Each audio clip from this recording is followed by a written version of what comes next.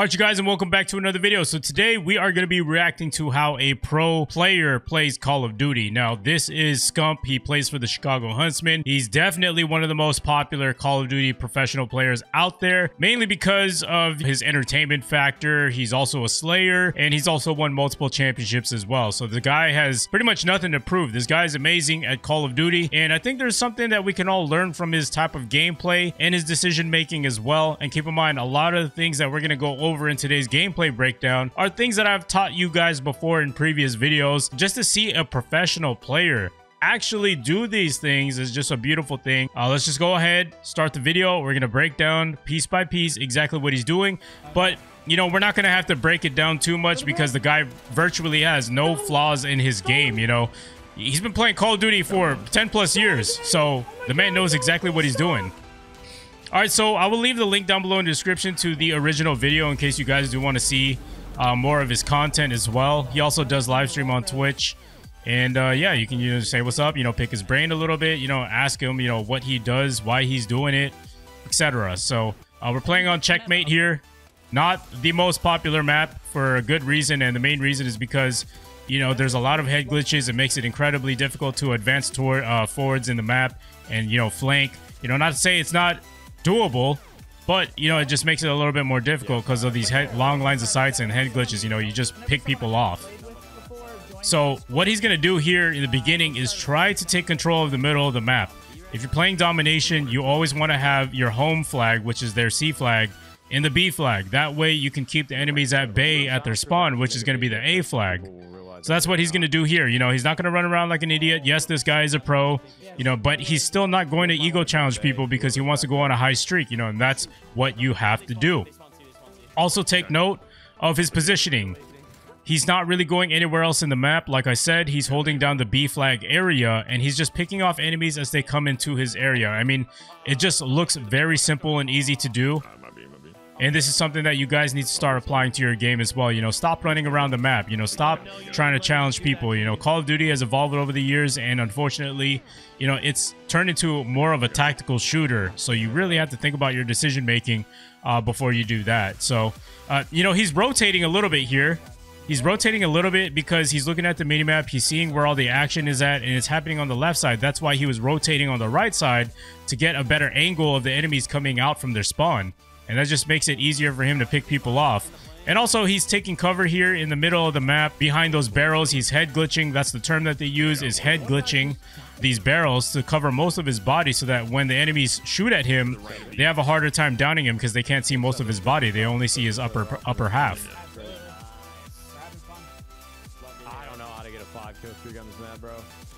And uh, as you heard there, that was a Nadeshot, his teammate, another former pro Call of Duty player. He actually owns 100 Thieves, by the way, if you guys didn't know. Even he was just saying, you know, it's hard for him to go on a five kill streak.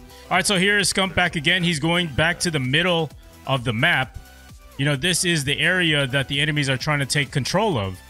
You know, and even if he's, you know, playing his strategy to a T and trying to be as stealthy and cautious as possible, even the best of players, you know, there's just some things that are just out of their hand. You know, that's why, you know, sometimes you may have to take a death or two when you're trying to control an area.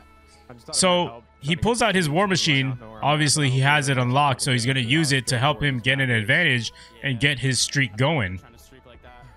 So whenever you have your war machine, that would be a good idea. So he's just kind of waiting. He's basically literally just waiting for the opponents to walk in. Because as soon as you die while you have your war machine available, it's going to be a while till you get it again because of that uh, cooldown. I didn't, I didn't play in the beta, but all people kept saying was how much, how viable the guns were and the MP5 is literally so he's he's he's advancing up a little bit towards the end of the plane here. So uh, let me just pause it really quick. So the reason why he advances up a little bit towards the uh, back end of the plane here is because if you look at his mini map, he has teammates here and teammates here. There's no action going on in this area or in this area. So that must mean that the enemies are spawning in from the C flag. So this allows him to push up even further because, like I said in previous videos, you want to keep your opponents at bay. You know, there's a mid line here. Just think of it as a, uh, an invisible mid line here that you do not want them to cross, and that's exactly what Scump is doing here. So that's why he was pushing forward. He was moving forward. He wants to keep them at bay at their spawn. That's why he, you, you're not going to see him ever cross this line right here and into their spawn because, you know, number one, you're going to be outnumbered. Number two, that's just going to flip the spawns and that's just going to mess everything up. And then you're going to be forced to capture the C flag and then, you know, direct your attention to the A flag. You know, that's just how it, how it works in Call of Duty. I think just because like it's the first SMG, that's just what everybody picked up right away. Yeah, but All right, so again, the action, the action is happening on this side of the map. That's why you see him turn around immediately. Easy kills. Remember, like alpha, was was. Someone was pushing the flag. He got ready for that gunfight. He was pre-aiming. Now, also pay attention to his movements as well. His movement is very fluid. He always slides around those corners to make it harder for the enemies to lock in on him. And that was pretty much an easy kill there. He's just literally just waiting for the opponents to walk in through his line of sight. You know, this is what you have to do sometimes. You have to be patient. You have to hold an area down. You have to just pick them off. And that was actually really smart to, to shoot through the window of the plane. You know, I don't really see too many people doing that, so that's something that you should start doing as well. All right, so notice how even his teammates, they're not pushing that invisible line that I was talking about earlier. So right here, you know, I'm not really sure what prompted prompted him to do this, but I'm pretty sure in his headset he heard footsteps. Also, take note, like I said earlier, whenever he's engaging in a gunfight, he's always got cover. He's behind this barrel. All right, he's being shot. What he does here, he retreats. Then he stim shots right away to help himself give more confidence to go back into that gunfight or to survive a little bit longer. You know, that's him being passive aggressive. That's what I talk about being passive aggressive. Yes, he was being shot at. Yes, he could have easily ego challenged the guy. But the fact that he's aware that he's on a streak, you know, he doesn't want to relinquish that. All right, so in the second half of the match, you're going to see him do the same exact thing. If it ain't broke, don't fix it. The first thing you do want to do is capture the B flag. You know, in domination, you always want to have map control. Map control is key in order to dominate the opponents because the more map control you have, you know, the more uh, order you have in all the chaos, you know, so to speak. You know, it makes your opponents a lot more predictable, you know, and that's what you want. You want to be able to uh, have that advantage by being able to predict your enemy movement.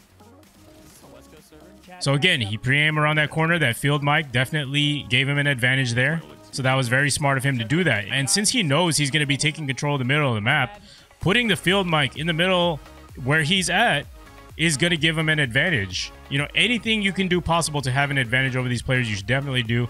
Now he's on a 17 streak. He's aware that his teammates has died on certain parts of the map. That's why he's directing his attention in those directions. All right. So he he momentarily steps out of the plane. He retreats regardless. Even if he has a war machine, he doesn't want to die off his streak.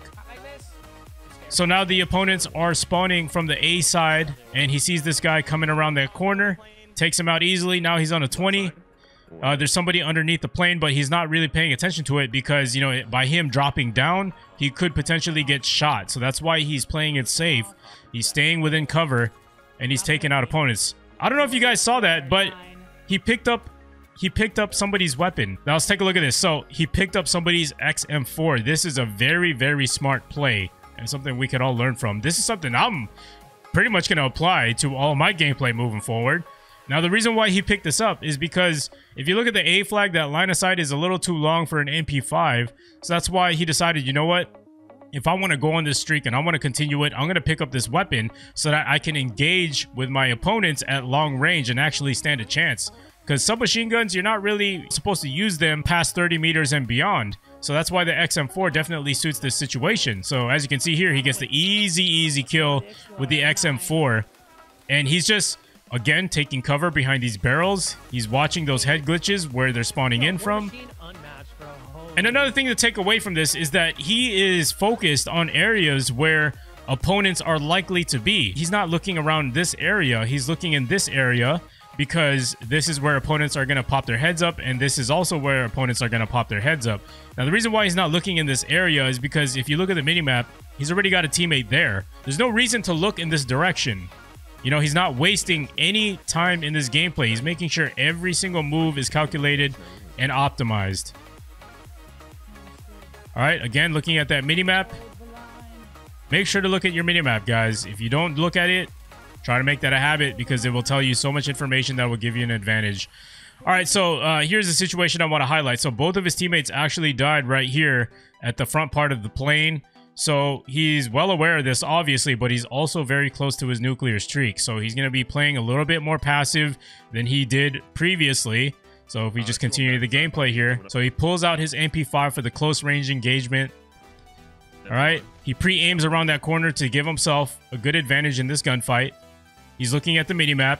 He takes out that guy. Now he switches back to his XM4 for that long range. A more than C. Now he's going to predict the enemy movement coming around that corner. He gets that kill. All right, so his teammates pushing up. Teammates taking damage. He's also checking behind him momentarily because you never know. He might get snuck up on and flanked from behind. Guys rocking C4. Again, he's checking different lines of sight. You know, you never want to ADS too long or focus on a line of sight too long because you could get flanked, especially with uh, the fast type of uh, gameplay that uh, Cold War does deliver. So as you can see, somebody actually did jump up on the plane and try to flank, and he almost died. So it's a good thing that he checked his back. Okay, so he's four kills off of this nuclear. He's saying, don't get greedy. You know, we've all been there before. And that's a smart thing to do. Do not get greedy. The game is coming down to a wire here. As you can see, there's only less than 40 points left until the game is over. He's got his war machine. This is basically his ticket to a nuke. So good job of checking on those, those lines of sight. So there goes Nadeshot around that corner there. He's ADSing. All right. So so this is a very peculiar situation here because you've got an enemy coming up here into the plane and an enemy that just killed your teammate. So let's see what he does here. And I'm going to explain how this is very important and a very subtle minor adjustment that he does. So look how he moves in front of this box. And I'm going to break this down a little bit. All right. Then he turns around, takes out the guy behind him. So, all right. So in this situation, this is what I wanted to point out and what makes a pro player so good. You know, it's not just their gunfight skills. It's also about their decision making. His teammate died right here. He's aware that there's enemies pushing up. All right, teammate actually died. If you take a look at the minimap, there's two people, two people approaching the top of the plane here that are going to try to rush the B flag because obviously they want to catch up. But he's also in a predicament because his teammate just died here. So he's pretty much pinned. So what he does is he keeps continuing his ADSing here he moves in front of the box so that the people that are inside of this plane do not notice him in the outer opening gap of this plane. That way they don't see him and he's able to focus in on this opponent that's probably going to appear first before these two guys even get to that center of the spot, you know? So let's go ahead and play it here. There he is.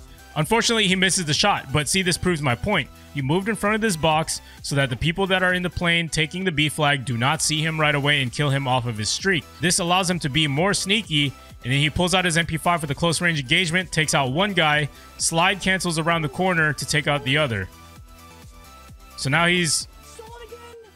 Oh, wait, no, my bad. His teammate actually stole the kill. It just looked like he got the kill. He's almost there. He's almost there. He pulls out his XM4. Boom, and there it is, baby. Look at him celebrating that nuclear, man. Well deserved, well played, almost zero mistakes made. He played really, really uh, tactically. And, you know, a lot of this proves that the game sense and understanding of the game that I try to teach you guys in my videos it actually works. And as you can see, as soon as he ran out, you know, obviously he wasn't taking it seriously at that point. You know, he died. So uh, it's all about game sense. It's all about trying to predict the enemy as much as possible, using that mini map to your advantage. Call of Duty is now more of like a tactical type of game. You know, you really have to think about all the steps that you're making, make those educated decisions.